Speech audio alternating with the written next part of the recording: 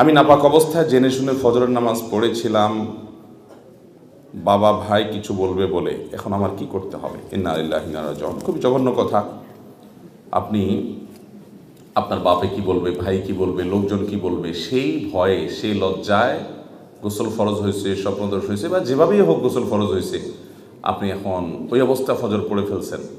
আপনি জঘন্য অপরাধ করেছেন। ভয়াবহ অপরাধ করেছেন। অপবিত্র অবস্থায় আল্লাহ তালাকে সেজদা নিবেদন করা।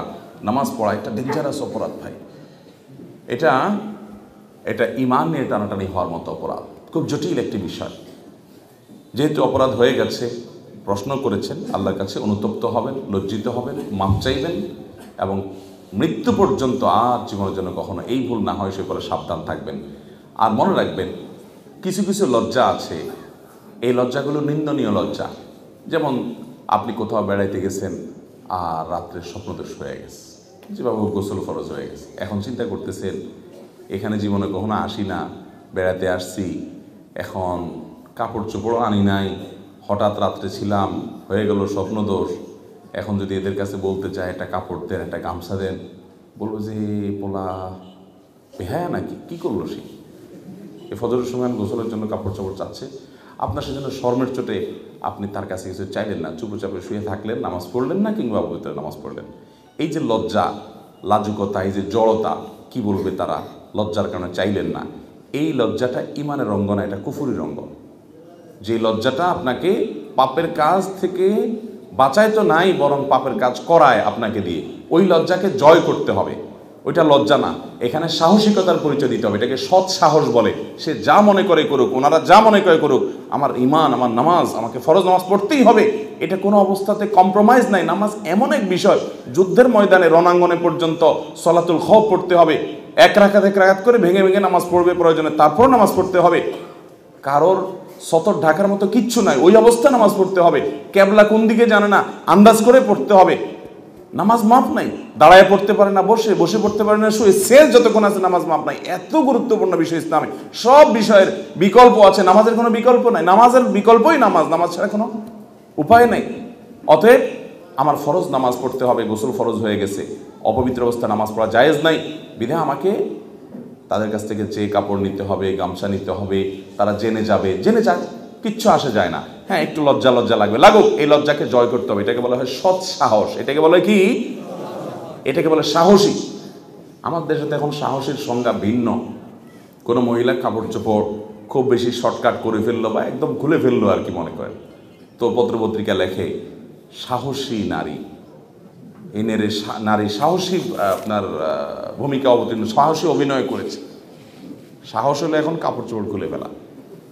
বেহায়া হয়ে গেলে তার নাম কি? সাহসী। যে নির্লজ্জ হওয়ার মতো সাহস করছে সে। এটারে সাহসী নাম দিছে।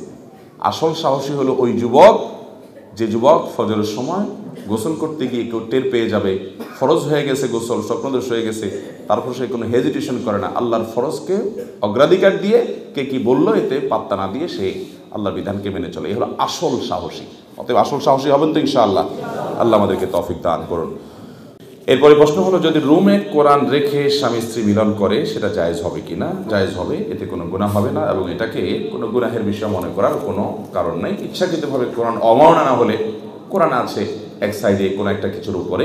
ওই ঘরে মানুষ তার ব্যক্তিগত যে সমস্ত বৈধ কাজ আছে, যে কোনো বৈধ কাজ সেখানে করতে পারে। এর কারণে কোনো কোরআনের প্রতি অসম্মান, এর গুনাহ হবে না। ছোট শিশু পেশাব করে দিলে গোসল করতে হবে কিনা ছোট শিশু যদি কোনো কাপড় চোপড়ে পেশাব করে দেয় তাহলে সেই কাপড় যেই জায়গায় লেগেছে, ওই জায়গা আপনি ধুয়ে ফেলবেন। আপনার কোলে পেশাব করছে, রানে পেশাব লাগছে, তাহলে রানটা ধুয়ে ফেলবেন। বাস, পাক হয়ে গেল। গোসল করা জরুরি না। অনেক মায়েরা আছেন এটার জন্য অহেতুক কষ্ট করেন। শীতের দিন বাচ্চা দিছে কোলে পেশাব করে। এবার ভদ্র মহিলা আগা গোড়া পুরা শরীর উনি ধোয়ার জন্য ঠান্ডা পানি দিয়ে চলে যান। না, আপনাকে ইসলাম এত কষ্ট করতে দেয়নি অতএব এত কষ্ট আপনি করতে যাবেন না। বাচ্চা পেশাব করলে যে জায়গায় পেশাব করছে, ওই জায়গা ধুলে কি হয়ে যাবে? পাক হয়ে যাবে।